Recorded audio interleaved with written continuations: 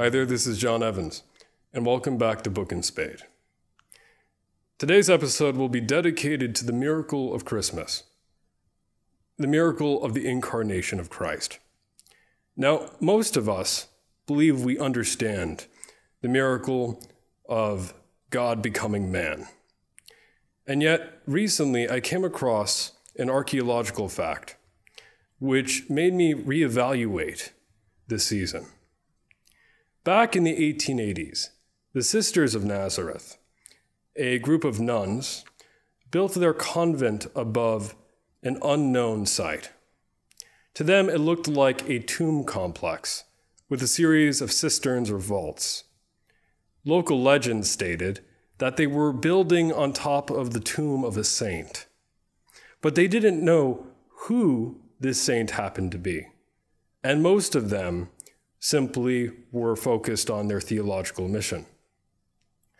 Now, throughout the course of the 20th century, many excavated around the walls.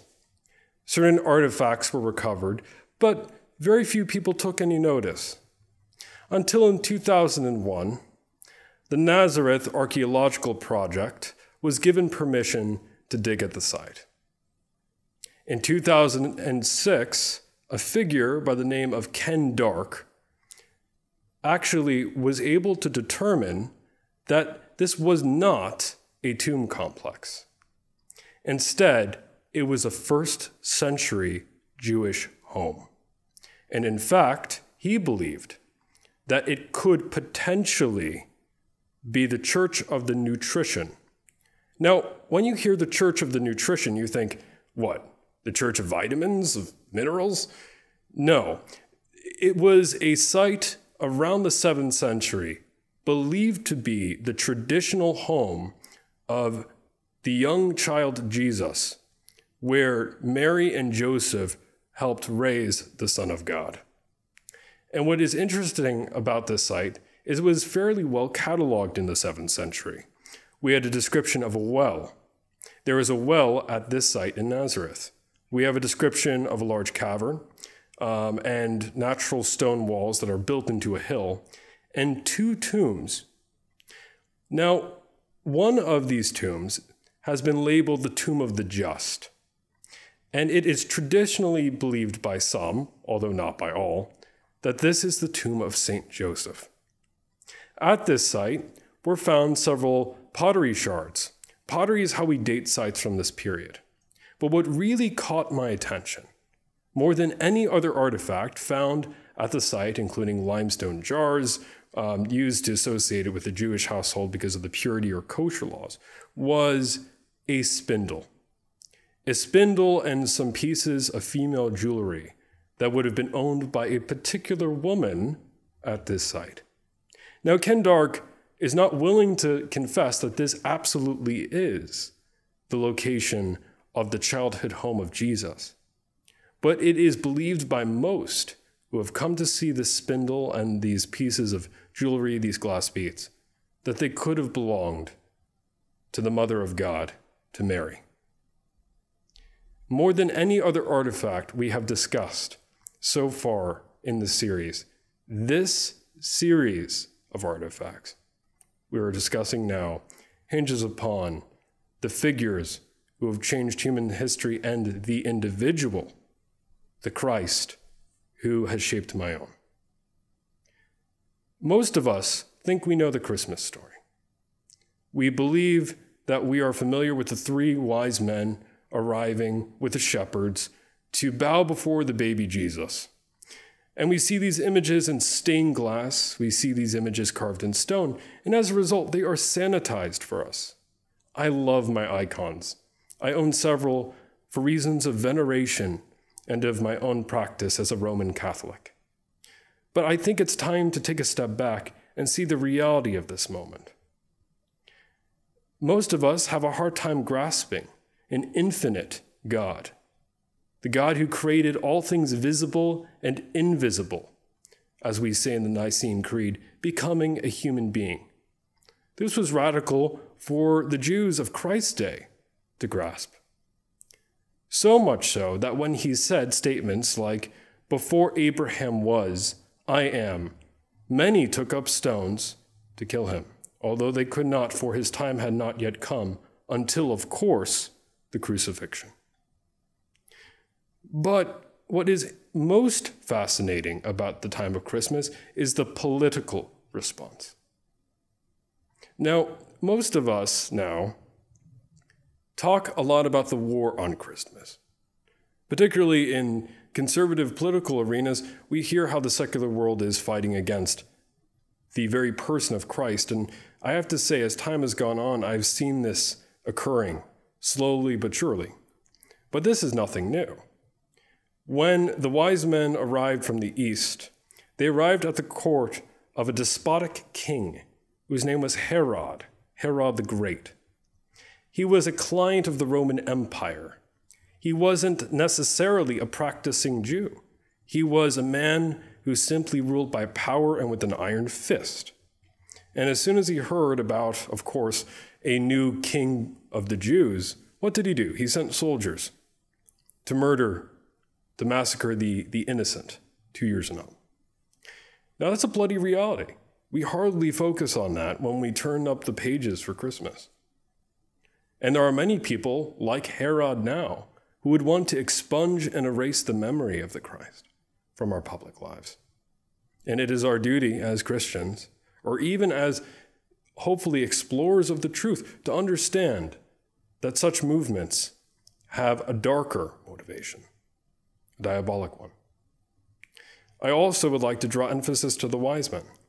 Now we see image images now and again of these three figures, often hooded and cloaked, arriving before the manger, and we think, how quaint. Sometimes we call them three kings. But if we go back to the biblical narratives, in Matthew and in Luke, it is in Matthew that they appear. The number of the wise men who appear are never actually referenced, they are in the plural. And yet we know that they give three gifts gold, frankincense, and myrrh. Now, when they arrive at the court of Herod, an interesting fact is given. We're told that all of Jerusalem was troubled. Now, how would the whole of this great city be troubled by the arrival of only three men? Makes no sense. Well, there are a few alternative possibilities. Now, if we believe that there are clear predictions of the coming of the Messiah in the Old Testament, and we do, then we know that when Daniel was in the land of Babylon, he was among the Magi of the court of King Nebuchadnezzar. And in doing so, he conversed with the scholars of that time and that period. The Magi were a certain class of scholars, court magicians, as it were, who attended the Babylonian kings. Now, as time went on, it is possible, I'm not suggesting that this is definitive, this is simply a hypothesis, that Daniel could have passed on knowledge of the coming king to a certain sect of magi at the court. The Babylonians, or Persians, eventually become the Parthians of the future, because of course Babylon was conquered by Cyrus the Persian, and over time the Parthian Empire, during the time of the first century, many years later, becomes a chief contender, a rival, to even the Roman Empire. And as a result, when the wise men or magi arrive in Jerusalem, it is possible, I'm not saying that this is definitive, that they could have arrived with a military escort from the rivals to the Romans. And they could have arrived in force, challenging, in some ways, the hegemony of the power of Rome through their client King Herod.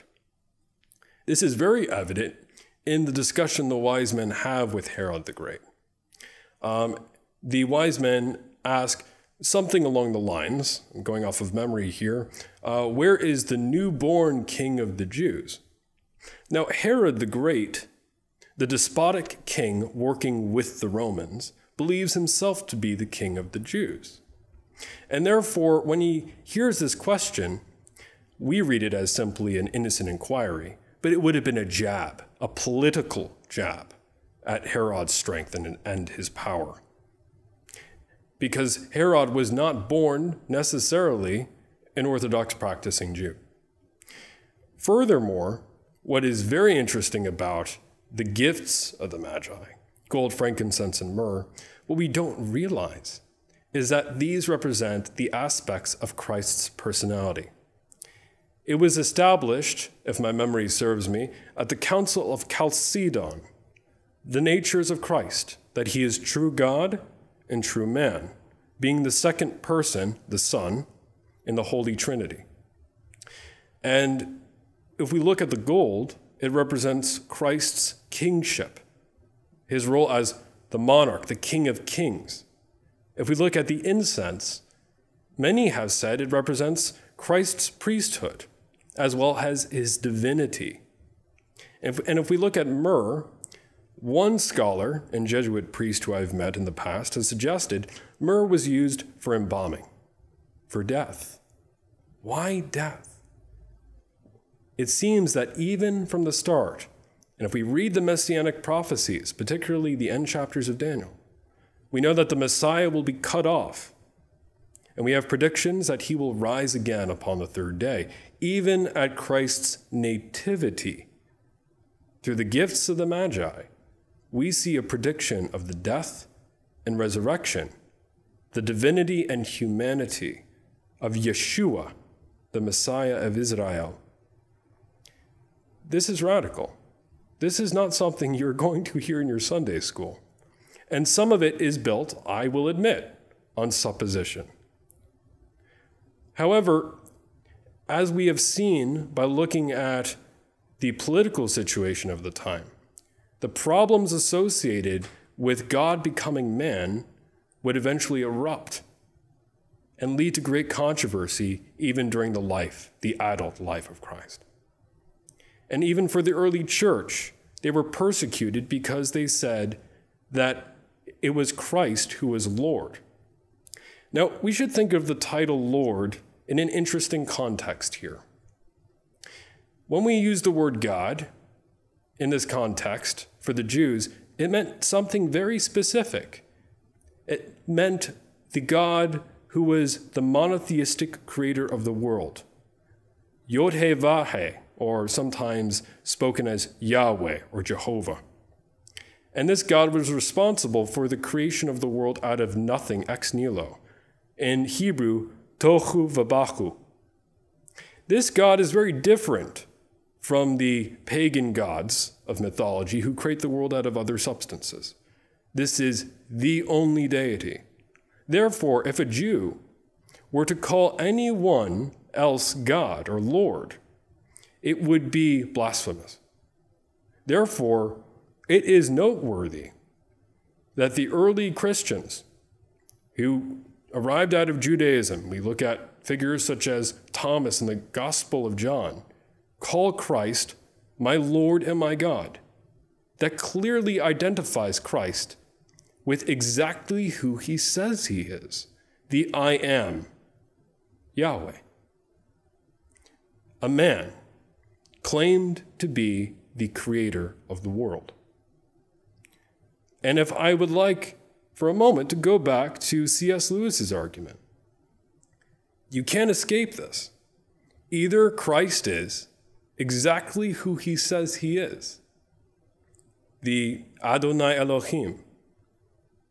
You know, he was nailed on a cross of wood, yet he created the hill on which it stood.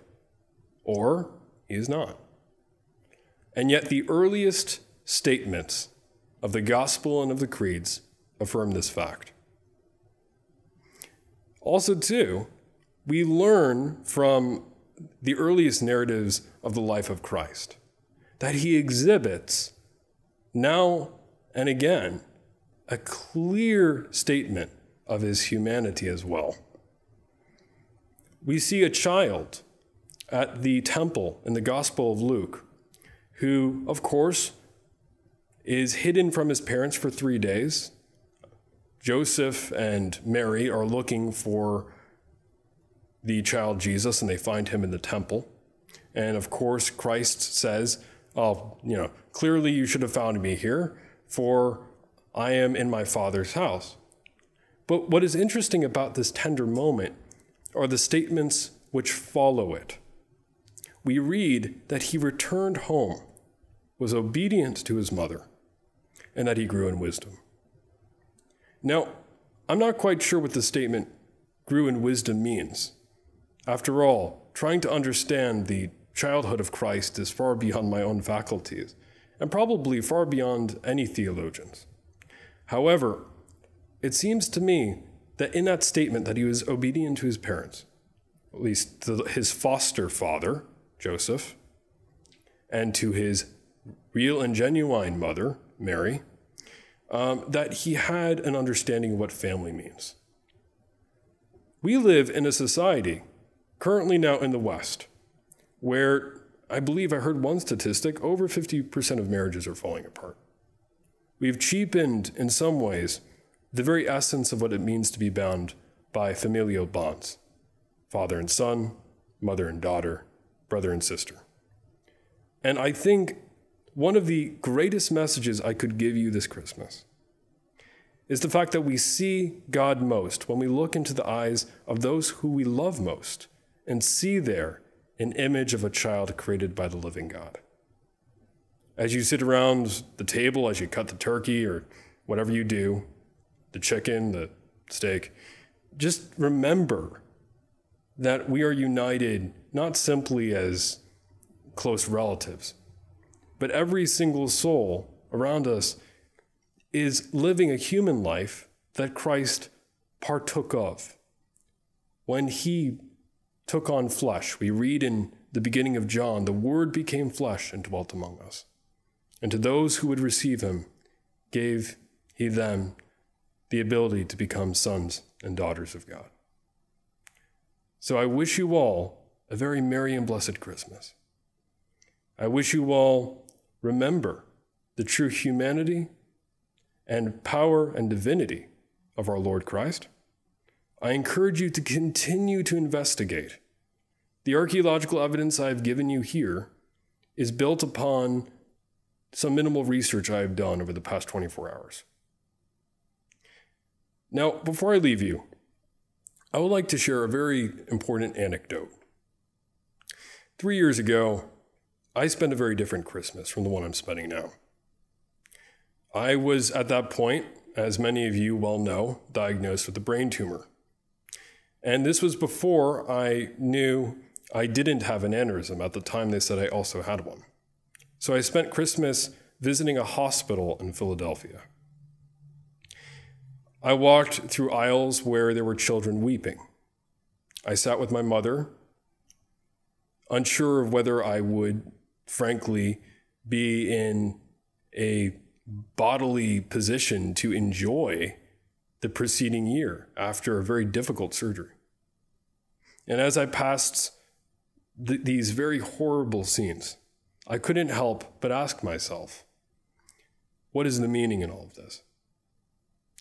And there, as I sat down, my aunt, whose name is Mary, and my godmother, handed me a small crucifix.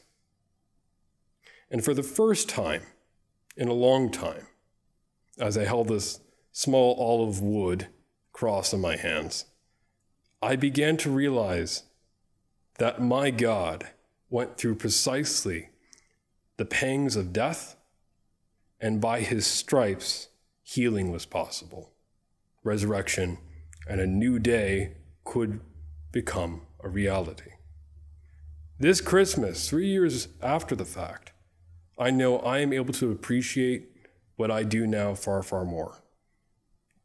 I look forward to embracing my aunt my godmother, and my own mother, and remembering what it must have been like for Christ, the Son of God, to embrace his mother Mary. So, in this spirit, I wish you all the blessings in the world. Merry Christmas and Godspeed.